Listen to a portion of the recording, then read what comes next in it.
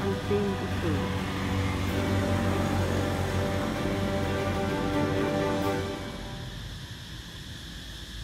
tôi này rộng lắm các bạn ạ, tôi mới